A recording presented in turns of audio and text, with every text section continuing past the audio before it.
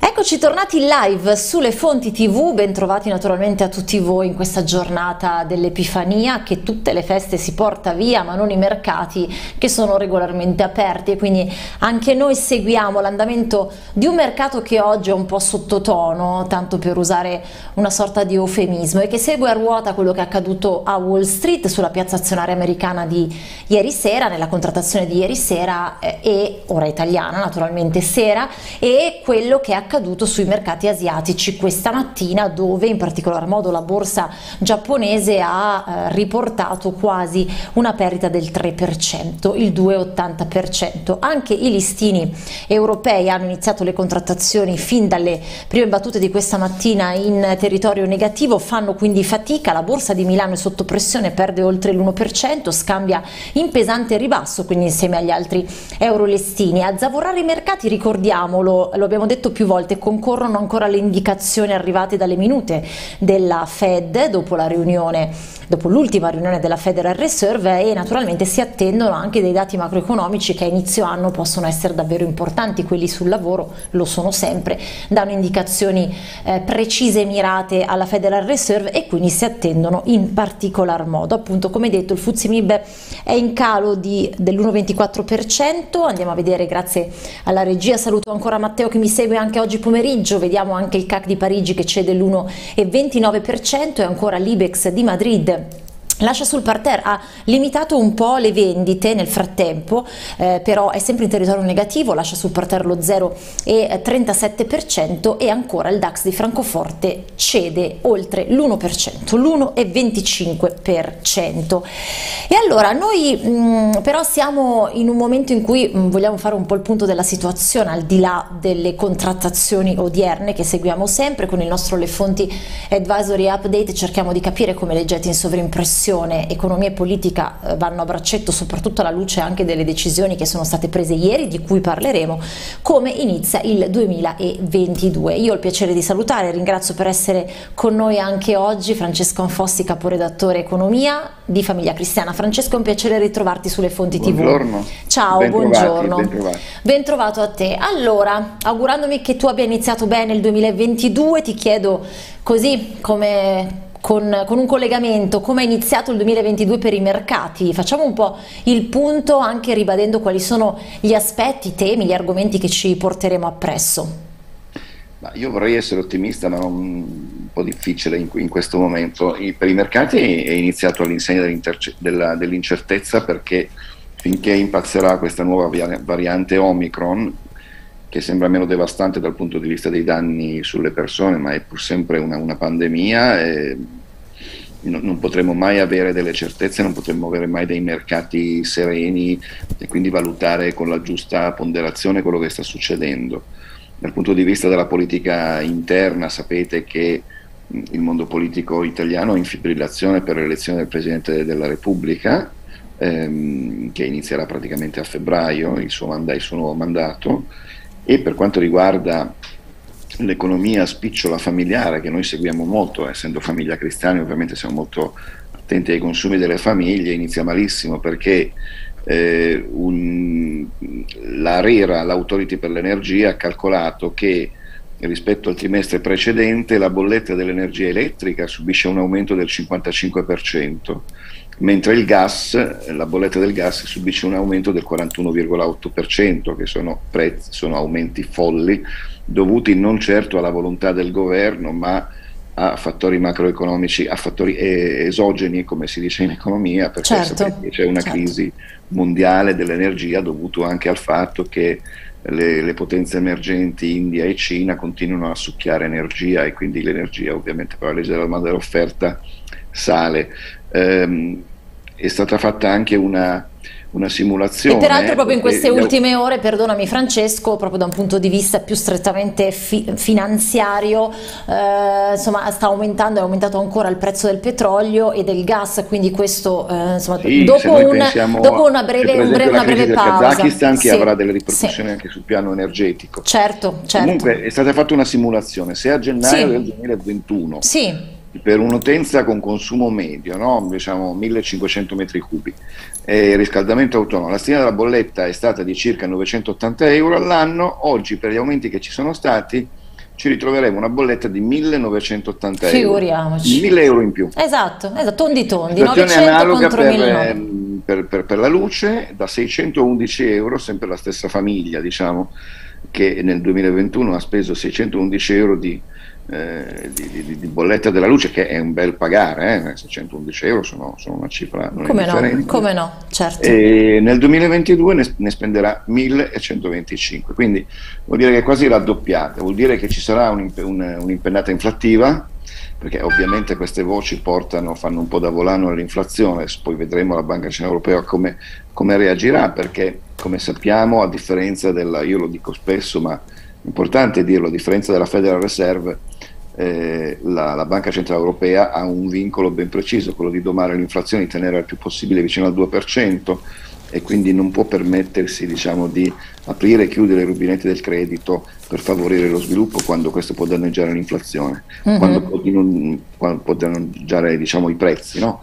e quindi l'aumento dei prezzi, favorendo l'aumento dei prezzi. E quindi bisogna vedere come come andrà avanti. Esatto. Quindi, come vedi il quadro è molto Peraltro molto tu hai riportato delle simulazioni, però se ti interrompo, ma eh, l'inflazione al 3,9% che sono i dati Istat che ci sono arrivati nelle ultime ore è salita l'inflazione, quindi a certo. dicembre certo, parliamo di un top, e eh no certamente, certamente, però almeno così ricordiamo anche a quanto siamo, parliamo di un top dal 2008, quindi l'inflazione non era così alta dal 2008, determina questa inflazione al 3,9 determina una stangata media da 1000 da più 1198 euro annui sì. a famiglia, queste sono le stime. Tra l'altro, quando sono... ti parlavo del mercato dell'energia, io ti parlavo del mercato protetto, cosiddetto mercato protetto, perché se noi sconfiniamo nel, nel mercato libero, mm. allora le tariffe sono addirittura triplicate. Figuriamoci, sì, mi domando sì. se abbia avuto senso per tante famiglie passare al mercato libero, visto quello che poi è successo dal punto di vista degli aumenti, capisci?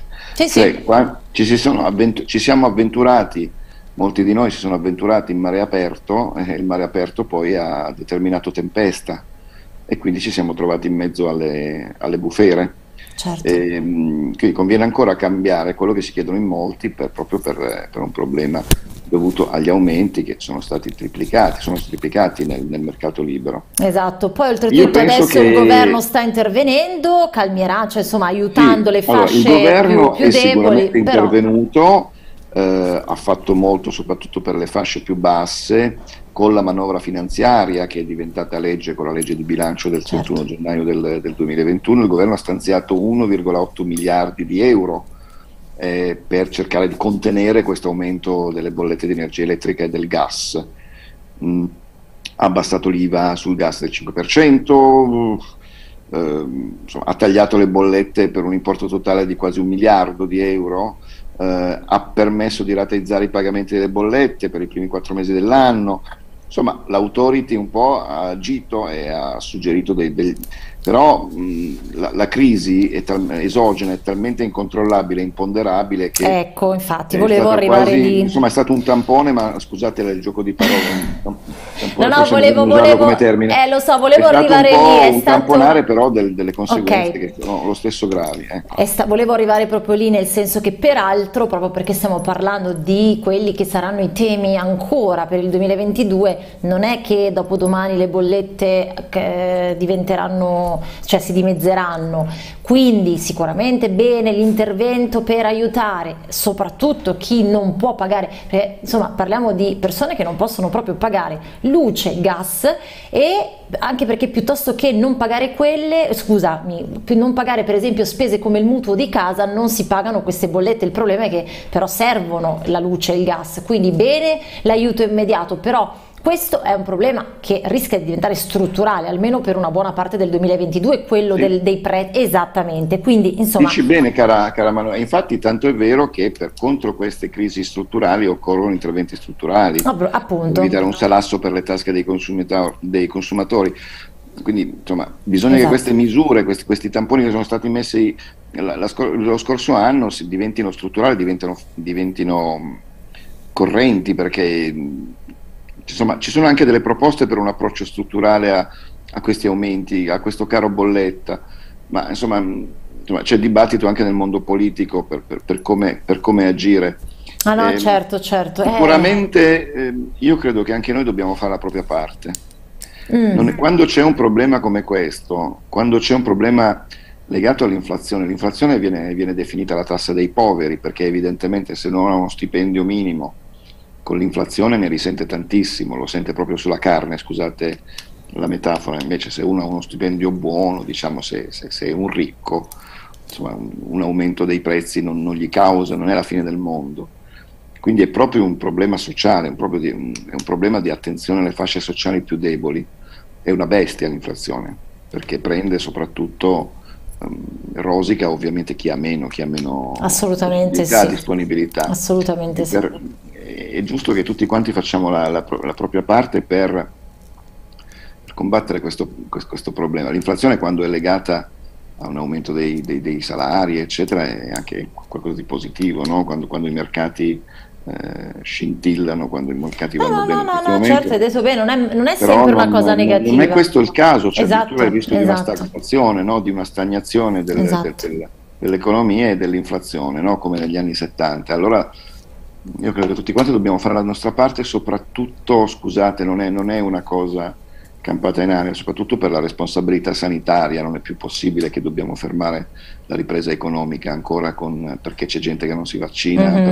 Che... Eh appunto, caro Francesco, lì volevo arrivare. Allora, eh, beh, è tutto assolutamente collegato, anche perché poi se eh, parlavamo di un problema strutturale, il problema è che se non riparte l'economia, perché eh, i prezzi hanno cominciato ad alzarsi adesso tra le tante cause? Perché la domanda ha superato l'offerta, lo sappiamo bene, no? una legge economica molto semplice, non si, sono, non si è riuscito a far fronte anche alla richiesta quando piano piano la ripresa eh, economica o meglio le attività sono ripartite, però non sono, diciamo, l'economia non è ripartita in toto, quindi con questa incognita che abbiamo no? del, del, fatto che davvero potremo riattivare tutto, resta anche l'incognita eh, per far vedere che è sempre tutto collegato in economia e finanza, appunto della, dei, dei, prezzi che aumentano e volevo arrivare lì proprio per questo, perché una mh, frenata alla ripartenza di tutte le attività senza avere più pensieri è legata proprio al Covid, che insomma ce lo stiamo tenendo tenendo eh, stretto no? questo, questo Covid.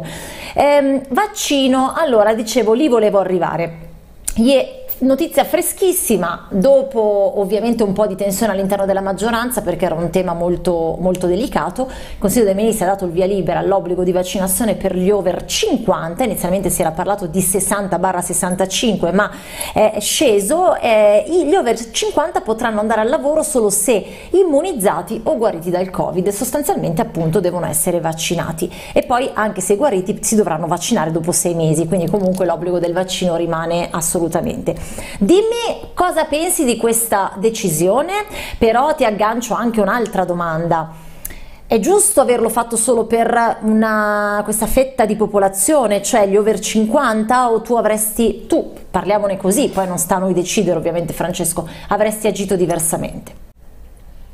Non è giusta, ti, ti spiego perché, perché al, al, di là della ripresa economica che aveva favorito evidentemente dopo aver debellato la pandemia, c'è un problema proprio di vite umane e, e non lo dico io, lo, dice, lo, dicono i virologi, lo dicono gli scienziati, che, lo dicono le statistiche soprattutto, eh, il virus è più, più, letale, più pericoloso per quelli che hanno la mia età, io ho 58 anni, cioè, quindi insomma, sono, faccio parte di questa fascia, dai 50 in su. Sì. Non, non, è un caso che sia stata scelta questa fascia, perché questa fascia è quella che rischia di più.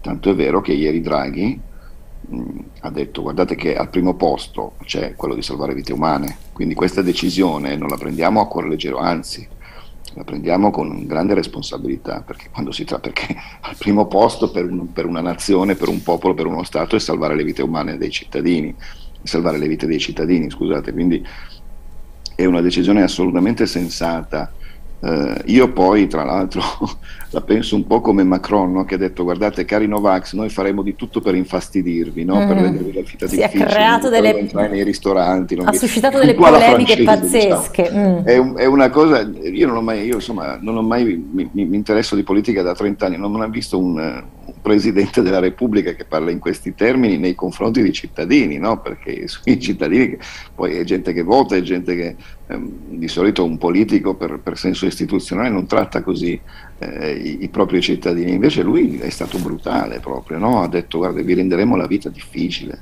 Eh. Eh, perché? Perché la situazione è talmente drammatica eh, perché è così assurdo che la gente non capisca che i vaccini sono fondamentali per debellare questa pandemia, per salvare vite umane, per favorire la ripresa, per salvare la gente, per evitare che finiscono in terapia intensiva, per evitare che tanti giorni vadano in fumo in, in malattia. E, e, e quindi è assolutamente un provvedimento sacrosanto, mm. tenuto conto che non ci sono effetti collaterali. Però Francesco ti faccio, questa ti faccio questa domanda che si ricollega sempre al tema mm, eh, del fatto che non possiamo permetterci di non far ripartire il paese a livello economico. Bisogna però pensare anche a una cosa. Resterà sempre, sempre, poi vabbè qualcuno si farà convincere, ma resterà sempre una parte di popolazione che non si vorrà vaccinare, ok? Questo cosa significa? Che non potrà più andare al lavoro, prendere l'autobus, prendere il treno, insomma non potrà più fare tutte quelle cose che invece se si ha un vaccino fatto si possono fare. Questo non ti preoccupa da un punto, allo, magari non allo stesso modo, eh, attenzione, con una mh, mm, potenza diversa, ma non ti preoccupa lo stesso, cioè questo non, fren- non potrebbe frenare comunque a sua volta l'economia, perché insomma eh, se la gente non va al lavoro è un problema, eh, se si fermano delle mh, attività produttive non in toto intendo dire, però perché mancano dei pezzetti, perdonate per pezzetti intendo dire proprio delle persone no, che lavorano, insomma anche questo potrebbe penalizzare la ripresa effettiva del paese, cosa ne pensi? Eh, penso che sia assolutamente vero, però è anche vero che insomma, di fronte alla prospettiva di non lavorare e di vaccinarsi, credo che anche il più agguerrito dei Novax scelga la prospettiva di vaccinarsi. Mm. Addirittura arrivare a... È vero che abbiamo visto scene, della, della mala... scene del... allucinanti di gente che rifiuta il casco dell'ossigeno. Eh, eh, quello però, insomma, sto dicendo, sono, bisogna sono, mettere in conto un po' tutto. Sono sai. episodi diciamo un po' estremi. Io credo che la maggior parte dei, di coloro che non si sono ancora vaccinati lo fanno per dei non dico legittimi, ma per dei comprensibili timori che però adesso devono svanire perché tra la prospettiva di perdere tutto e quella di eh, vaccinarsi senza peraltro conseguenze particolari, perché eh, non, non, ci sono stati ci sono stati casi rarissimi, no? e del resto le medicine hanno, hanno, questi effetti collaterali, non è che l'aspirina, l'aspirina eh, mi pare che in un caso su mille provoca un'emorragia e quindi cioè, e la scienza è questa, la medicina è questa eh, do- dobbiamo assolutamente fidarci della scienza perché è quella che ci sta facendo uscire da questa terribile pandemia e affrontare un tantino più serenamente questo durissimo mm. anno che ci aspetta. Non sarà un anno facile, okay. chi si illude che sia un anno facile è soltanto un, è soltanto una persona un po' giuliva, diciamo, perché questo sarà un anno difficile, ma sarà l'anno della ripartenza. Senti, è chiaro, è chiaro, che da quando c'è la, la, la, pandemia di Covid, l'emergenza Covid, eh, si deve, adesso si conoscono più cose naturalmente, però mh, per certi versi abbiamo proceduto, non noi, ma insomma come paese, ma come tutti gli altri paesi, un po' a piccoli passi e, e anche a tentativi. Eh, per esempio, faccio un po' l'avvocato del diavolo, eh, c'è chi potrebbe dire ma come? Ci avevano detto che con i vaccini e comunque in Italia l'80%, anzi di più della popolazione è vaccinata. Con i vaccini non ci sarebbe stato più bisogno no, di ricorrere a restrizioni, perché comunque la situazione, perché avremmo raggiunto presto l'immunità di gregge, non ci sarebbe stato più bisogno per esempio di fare tamponi. Non è così oggi, perché? Chiaramente perché è arrivata la nuova variante Omicron che ha come dire, sballato un po' tutti i piani. Eh, però i, mm, diciamo, chi non vuole vaccinarsi, lo zoccolo duro, e noi dobbiamo tenere conto di, di queste persone perché fanno parte mm, de, di noi, cioè sono cittadini come lo siamo io e te. Quindi lo dico veramente eh, in modo, in modo cioè con coscienza e loro potrebbero dire, beh, ma allora sarà sempre così e, e allora non mi fido di quello che, che, mi state dicendo, perché comunque non cambia niente. Allora, l'ho detto in modo molto, molto, molto vago e veloce, perché ovviamente, però credo che si sia capito dove voglio arrivare. Cosa rispondi, Francesco? Il vaccino non è la terapia. Mm? Mm. Ci, si, ci si può contagiare lo stesso, ma è la prevenzione, cioè chi è vaccinato rischia molto, ma molto di meno, ma quando dico molto di meno lo dico a livelli esponenziali. Può esserci una percentuale di, di, di popolazione che non risponde, eh, il cui sistema immunitario non risponde anche col vaccino, ma si, si tratta di casi minimi. La verità, eh, che è assolutamente comprovata da quello che sta succedendo, è che chi è vaccinato non rischia la vita e non rischia neanche di andare in terapia intensiva oppure ha dei certo. rischi assolutamente minimi. Certo. Tanto è vero che non dobbiamo rinunciare alle misure di protezione. Non è che chi è, io per esempio la terza dose, ma eh, non ho nessuna intenzione di rinunciare alla mascherina, al distanziamento, a frequentare no, no, il no. possibile. Beh, adesso è obbligatoria la mascherina, cluster, quindi anche fuori. Eccetera, perché... eccetera. Sì, ma al di là dell'obbligo, no? qui è una questione di responsabilità individuale. Sì, sì, sì. È chiaro che eh, il rischio c'è sempre, ma è un rischio assolutamente minimo rispetto invece al rischio reale e eh, molto molto molto realistico invece di finire in terapia intensiva se non si è vaccinati. L'altra volta eh, ho avuto la disgrazia di portare la mia mamma al pronto soccorso e parlavo con un infermiere che mi, che mi spiegava, lo dico adesso, adesso parlo proprio per, per presa diretta, uh-huh. e mi diceva guardate il, il, il, chi è vaccinato non è che non si prende, io per esempio mi sono preso il covid, ho avuto una settimana, mi diceva questo infermiere, ho avuto una, una settimana un po' di influenzina, 39 di febbre, poi 38, 37, insomma in una settimana me la sono cavata. E io gli ho detto quasi distrattamente, invece quelli che arrivano senza vaccino, e questo mi fa, ah beh quello non c'è problema, li intubiamo direttamente. No, beh, allora è, è chiaro, ovviamente io, eh, io, mi baso, ragazzi, io, mi baso, come te di svegliarci, sui dati, svegliarci. Sui dati che ci Il problema è la nostra vita, no? Ok, no, no, e, va e bene. Poi ci sono ci... tutte le altre considerazioni da fare che okay. stiamo facendo da, dall'inizio del collegamento, cioè dobbiamo favorire la ripresa, che finché non debelliamo la pandemia non, il paese non può ripartire, ma al primo posto c'è la vita umana la propria vita ecco, umana. Eh, eh, eh, sì, sì, sì, ma io sono d'accordissimo, però siccome ti voglio chiedere altre due cose più velocemente ovviamente, però mh, mm, è, è tutto collegato. Eh, oltre al discorso dell'obbligatorietà del vaccino per gli over 50, si stanno prendendo decisioni rispetto alla, alla ripartenza della scuola e del lavoro. Lavoro non, non che si sia fermato, però si sta un po' valutando lo smart working, come renderlo effettivamente uno strumento che la maggior parte delle, delle, imprese possano e riescano a sostenere, perché non è neanche facile da sostenere, bisogna farlo in modo giusto. Noi non ci basiamo ovviamente sullo smart working che abbiamo messo in atto appena è partita tutta l'emergenza, quella è stata una cosa raffazzonata, perdonatemi il termine un po' troppo popolare, ma insomma ci siamo capiti. Anche la DAD, didattica a distanza, adesso si sta dicendo che eh, si andrà in DAD per 10 giorni se ci sono tre positivi nella stessa classe, però se con un positivo è prevista l'autosorveglianza, a me sembra un po' troppo macchinoso Francesco. Questo contribuisce al fatto che il paese possa non ripartire nel giusto modo. Ed è vero che la salute è al primo posto, però è anche vero che ci saranno sempre dei contagi, lo abbiamo detto, anche se ci vacciniamo tutti, perciò non è neanche possibile continuare ancora oggi a dire beh ma se ci sono tre positivi facciamola da, perché non si va da nessuna parte così, credo che tu sia d'accordo con me. Guarda, um la, la, didattica a distanza dal punto di vista scolastico mm. è quanto di più ingiusto ci possa essere su questa terra. Eh. Perché eh, c'è chi la didattica a distanza la può fare con un bellissimo Mac ultima generazione in una cameretta ovattata con la mamma che gli fa la colazione, eh, con i libri a disposizione, con tutto il materiale scolastico eh, in una situazione veramente comoda e c'è chi non ha il computer, che non ha neanche il computer, non ha neanche il eh, telefonino giusto, lo smart work per collegarsi, eh, eh, magari deve, deve, deve, fare i turni col computer perché in famiglia sono in cinque e hanno un computer solo e quindi tu pu- ti puoi immaginare la difficoltà di fare didattica a distanza in questa maniera. Certo. Quindi la, la didattica a distanza è anticostituzionale da un certo punto di vista perché? Perché eh, è contro l'articolo 3 della Costituzione che dice che tutti dobbiamo avere pari condizioni di, per, per, per, il nostro benessere, per la nostra formazione, per la nostra crescita come persona. Mm? Detto questo, è sempre meglio che morire. No. Quindi se, ci sono delle, se una classe eh, si infetta.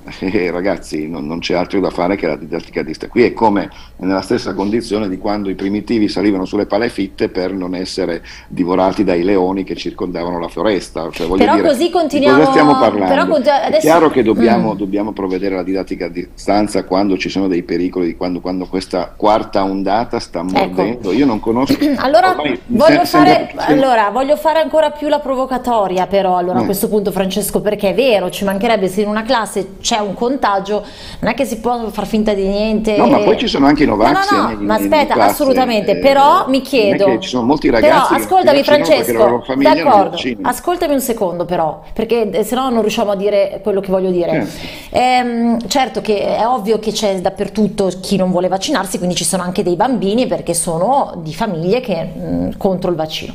No, però, però allora, la provocazione è questa. Ci hanno, ci hanno detto in tutto questo tempo eh, come fare a risolvere le problematiche che si sono verificate nella DAD e anche nello smart working, come dicevo poco fa, perché quello che abbiamo fatto mesi fa non era lo smart working reale, così come la didattica a distanza, con le problematiche che hai messo in evidenza tu, ma anche con i vari problemi di linea, connessione, ma anche la confusione che si è creata, era accettabile nella prima parte del Covid, quando non sapevamo veramente che pesci pigliare. Ma nel frattempo ci hanno detto come risolvere questi problemi? No. E allora, il, per quello che dico, bene salvaguardare subito le vite umane, ci mancherebbe altro e quindi appena ci sono i contagi via, tutti a casa. Ho capito, e poi tutti a casa e cosa si fa? Ancora torniamo ai problemi che avevamo eh, originariamente. Questo non va bene, cioè questo secondo me non è eh, come dire, eh, il risultato di un paese che ha preso in carico realmente il problema, il problema nella sua interezza, non solo relativamente a quanti contagi abbiamo, che tasso di positività abbiamo e quanti tamponi vengono effettuati ogni giorno, perché altrimenti una ruota che gira facciamo i criceti che giriamo come dei pazzi senza arrivare a una, una soluzione. È questo. Eh, abbiamo, abbiamo capito come fare con la DAD per risolvere i problemi? No, non abbiamo capito okay. anzi mi pare che la scuola eh. sia proprio il simbolo di questo disorientamento oh. che regna sovrano nel paese. Oh. Se voi pensate che la variante Omicron aggredisce particolarmente i bambini, è stato provato, eh, la, la, cosa migliore da fare secondo me sarebbe partire o quantomeno ritardare la presenza a scuola, perché in questo momento certo. è quasi certo che una classe eh, subirà dei contagi e quindi poi li diffonderà. Che senso ha tornare, cla- eh, tornare a casa, cioè fa- tornare alla DAD dopo che la gente si è infettata, bisogna evitare che si infetti prima, certo. dopo, no? quando le stalle ormai, eh, chiudere le stalle quando eh. poi sono scappati o quando i contagi sono arrivati, in questo caso. Quindi io penso che la, la, anche, questo, anche, anche, il ministro Bianchi, che è persona gra- molto stimabile, che ha una grande esperienza in campo scolastico, dice noi dobbiamo provvedere sia alla sicurezza dei ragazzi che alla loro istruzione. Eh, Ho capito, ma questo lo sanno tutti, ma dacci delle risposte. Ecco, bravo. Cosa vuol dire tenete la distanza quando è possibile? E quando non è possibile che facciamo? No, no, ma io sono d'accordo e tu hai detto che senso eh, ha... A me pare più sensata la proposta delle regioni che mm-hmm. hanno mhm. proposto di partire con la didattica a distanza, aspettare che ci sia il picco dei contagi e poi quando la situazione è un po' più tranquilla ritornare in classe, perché altrimenti se noi torniamo in classe in questa situazione ma, ma non, non, non, ne rimarrà una di classe in presenza. Ho capito, io sono eh, d'accordissimo, eh. infatti la proposta regione, delle regioni è assolutamente sensata, però ripeto, eh, che se, come hai detto tu, che senso ha parlare di tornare in classe quando ci sono ancora tantissimi contagi e quindi certo. è già, però io dico anche che senso ha parlare di DAD quando non è una didattica a distanza, quando sappiamo benissimo che se ed è cosa buona e giusta, si decidesse di non far rientrare i ragazzi a scuola, di farli studiare da casa, sarebbero settimane perse o comunque non sarebbero settimane produttive. Sarebbero settimane molto difficili per i motivi che ti ho detto. E i genitori, perché... che, i genitori, che, devono andare a lavorare cosa fanno? Chi è esatto, che li esatto, aiuta? Ci sarebbero problemi anche Ma, per i genitori. Però, però capisci che eh, a me sono queste le cose che, cioè al di là di tutto il ragionamento è doveroso da fare rispetto a dei contagi che sono ancora elevati e quindi che non possono essere sottovalutati né tantomeno ignorati. A me fa strano che non si alzi la mano tutti nel chiedere, bene, noi stiamo, teniamo anche i nostri figli a casa, ma io che lavoro, io genitore che devo, cosa faccio? Mi avete, non è che mi devono trovare la soluzione eh, dal governo ovviamente, ma a livello strutturale sì, di welfare sì, il paese... Beh, una, una, soluzione potrebbe essere quella del, dello smart working, il, il mio giornale per esempio da... Eh. Da, mi pare dall'altro ieri è, in, è in, uh, ufficialmente smart working perché l'azienda ha ritenuto che Vabbè. la situazione è tale che Però, venire mm, in redazione, no? infatti io come vedi sto facendo il collegamento sì. da, da, casa mia. No, no, ma per, mi sarebbe mi, mi, farvi vedere la redazione anziché la, la Eh, lo so, vedrai che prima o poi ce la farai vedere la redazione, ecco. anzi ti dirò di più, prima o poi, così ti saluto, ci verrai a trovare qui in studio e faremo non più il collegamento e io ti verrò a trovare in redazione a Famiglia Cristiana. Molto volentieri, ok. sarete graditissimi ospiti. Perfetto, allora Francesco io ti ringrazio moltissimo. Grazie, a presto e bu- esatto, buona Epifania, ma soprattutto buona ripresa a tutti incrociando le dita. Va bene.